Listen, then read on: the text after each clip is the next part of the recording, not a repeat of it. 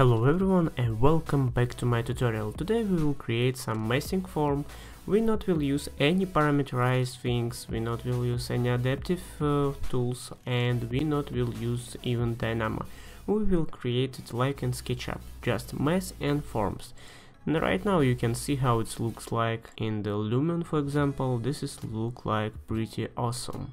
But before I will start I want to ask you join my Dynamo course on the Udemy. By this course you will understand how you can create for example the plan with only Dynamo without anything in Revit so you will do everything from the zero to the end in Dynamo so join my course so let's get started. And now we will create the new new family. We will use as always conceptual mass. Let's use the conceptual mass. Let's open up it. So here is my conceptual mass. Let's use it.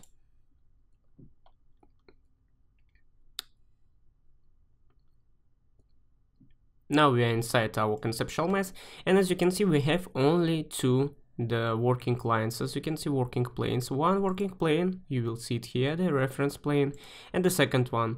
So we need create like few more. So i will go to the first level. It will be more mm, better to place it. And now i will go now to the uh, reference plane and let's uh, let's put our reference plane. One reference plane and second reference plane. So now we uh, now two it will be enough because now I want to show you how it's working. As you can see here is my reference plane, as you can see it's a bit flying somewhere, but it doesn't matter because uh, our reference plane actually placing uh, on the same side as that one, as you can see the ones uh, same side. Okay, so what we're gonna do now? Now we will uh, draw our profile. Let's draw our profile. Before you will start to draw your profile, you should set your working plane. Yes, that's why we're creating this working plane. Let's set the working plane. I will set first this working plane. As you can see, one, two, three. Let's call it working plane one. Now I will select as the working plane, this working plane, working plane one. If you want to see this which working plane right now it's working, just click on the show and you will see which the working plane you will using right now. Now let's go to the, the right view and we will draw our profile. So draw our profile, I recommend you using the firstly model line and after that we will change it. So here is the, my model line, as you can see here is my working plane and I can start to draw. So let's draw it, let's draw some simple uh, form, I will do like this something you can use dimension if you want, you can use whenever you want uh, to make your profile more better. So this is only up to you. Let's say I'll make like this and here for example I will do the curve maybe. Maybe I will do the curve. No, it's impossible to do that. I will use the fillet, fillet with the radius 1 meter. Uh, actually it's too small, let's make it a bit bigger. I will do it like 2 meter oh I say 2 meter. Okay. And the second one will be also 2 meter. Okay and I will leave like that. As you can see here is my first profile. Let's select now the second profile. The same uh, same uh, the stage you should do. Set working plane set the second working plane. Now you can see the now working my second working plane. And if you don't want to just redraw it you can copy it and just change something. How you can copy? Just go to the uh, to the model line and find here the pick line and just click on your previous line. Choose the choose the tab key and now you will select all the chain as you can see all the chain and select it.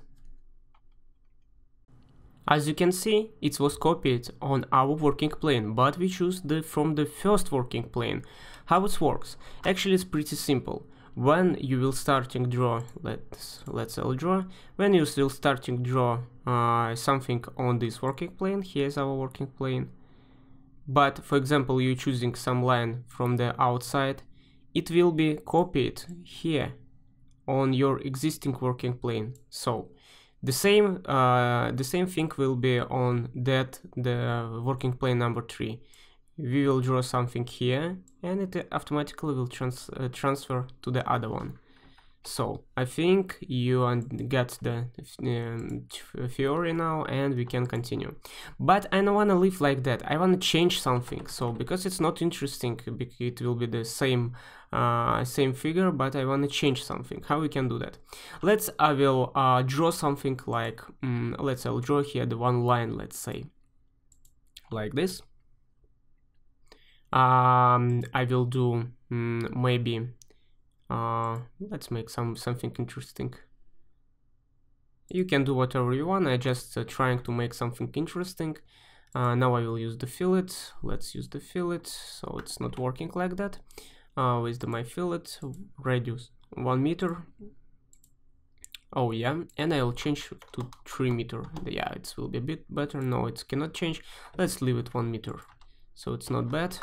Just be careful when you're deleting, just select only one thing if you want to delete. And again one meter here. Okay we did it something like that as you can see. And now let's choose the uh, last working plane. Let's select set the last working plane as you can see. And now again I will transfer my geometry there. Just go to the model use the pick the line and choose the previous uh, previous the lines. Just use the tab key to transfer everything. As you can see you can see now the dash line. Dash line it means where you will be your new uh, new profile. Let's select it and as you can see here is my new profile. And let's I'll make it uh, a bit smaller. I will use the move key and I will use something like that. And as you can see it's a bit changed the uh, size. Let's make change the size also size also here. I want making like a bit higher like that. Now what you're gonna do? Select one profile control select second profile control and select last profile and create the form. Here's your form as you can see. Okay this is simple. Let's I will use control Z. I will show you one thing one thing more now uh, let's select all our profiles and let's create the form. As you can see, I cannot see now my profiles because our profiles is gone. But what if you want change your profile? You're not able to change it right now because your profile is gone. As you can see now it's part of our geometry. Yes, of course you can uh, select it, you can move it, but it's not so useful because you cannot see uh, what you can do.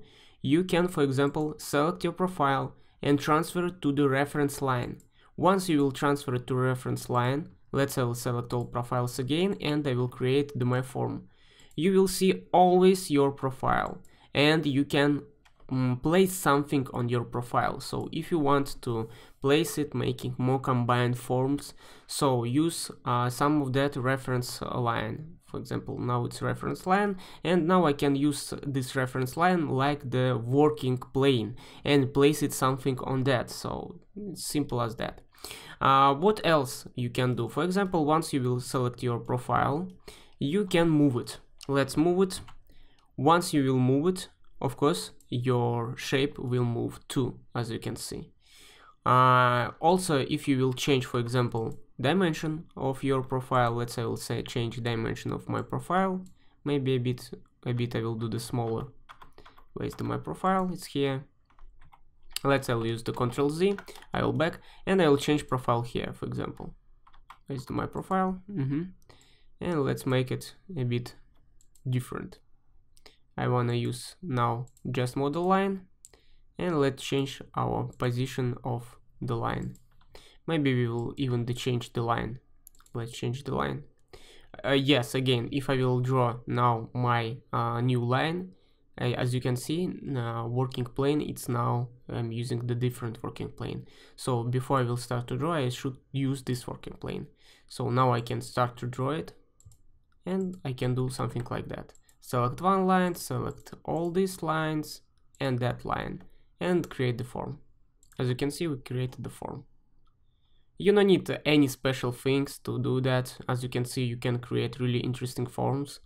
Uh, you can go even higher, you can make the hole here, and we will do it right now. If you want create the hole inside, for example, or if you want combine the forms like uh, extruding and subtracting, so you should use uh, this way, I will show you. Let's go Ctrl Z. Uh, we have three profiles. First I will uh, I will create now the offset okay? Uh, let's make offset of 250 millimeters and don't forget copy it. Again set your working plane. Use the tab key and we did offset as you can see. Uh, 250 it's actually it's too small. Let's make 550 so it will be better. 550 enter and yeah this is better. Again set your working plane. Set where you want to put your profile uh, for example if you are using here uh, as I'm using here is my reference line here just model line you will get something like that. Better use one of them. For example first use the model line and after that you can convert to the uh, any type of the format as you want. So now I'm using the one same type and as you can see it's automatically connect. So again set working plane. Here's my working plane. Use the tab key and as you can see we get. So why I did that I will now select internal profiles and I will create the void form. As you can see here is my void form. After that I will select external profiles and I will create just a form. Now I will go to the cut and I will cut one from the other one. And as you can see we get even inside you, you can see it's uh, there's some something like a hole and this is cool shape actually. And this line have only two points. As you can see one point is here one point is here. And all these points trying to connect to the nearest point as you can see to the nearest point. Like this like this. And that's why it's now here. Because most of these points the nearest point that one. And other one is just following it. If we will split this line like this all these lines will be automatically connect to the split point. So this is we will do right now. Ctrl Z let's split it. Just split the line. One two three four. Enough. Select one profile and second one and connect. As you can see we get this. Now it's much better so let's connect now our, our first profile, second one and last one and let's create the form.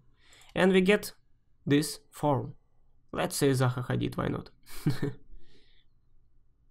the same situation as you can see now we get here on the top side. Because the our form trying to connect on this rule as you as I as I said before. But also you have the other solution. So let's say we use Ctrl Z again, Ctrl Z, Ctrl Z, so let's go back. You have other solution, you can create the other shape. So I will connect this shape now. Here's my shape. And I will reset view and I will cut it from one form to the other form. We can create the other shape. So let's go to the right view. So where's my working plane? Aha, it's here and we can create here for example uh, something interesting shapes as as I want before. Maybe something like that. Maybe maybe let's I will do like that. Here will be one big something like that. Let's connect it. It should be closed. Okay. And now I will I will do sa same thing on the last one. Let's set working plane last working plane I will use now again pick the line and let's pick the line for that shape, that shape. As you can see we should change the position of that. So let's I will change it. Let's say I want to create something like that and maybe a bit smaller. And I can delete now this shape because I don't need it anymore.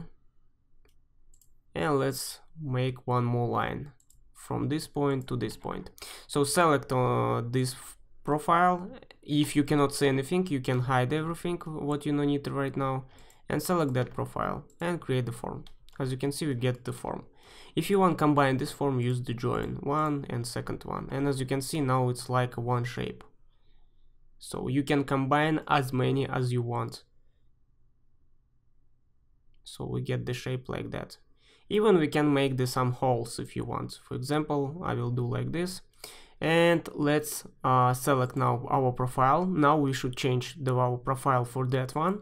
Or you should create the new one. I will use that one. It's okay for me. And let's make some cycle here. Let's create the form. I wanna create this form. And let's ex extrude it from the one side use the tab key and to the other side. And as you can see this is solid now. But we can change what type of this uh, type of this um, shape. Just select this shape and change from the solid to the void. Now we get the hole as you can see. We can create other one here. Let's create other one. As you can see one by one we can create really interesting forms without any special skills because uh, actually we not even using the parametric things we're not using the adaptive family, we're just using the standard Revit fam uh, families uh, without anything. And we can create the void form, let's create the void form, let's extrude it inside, and as you can see it's not extruding everything. Why? Because we need to use the cut. Use the cut from one to the other one. I said one. Let's again this shape from this shape Okay, and we get the cut, as you can see. Pretty awesome, right? By this way you can create everything what you want. So just select it, extrude it, mm, put inside your project and use it in your projects.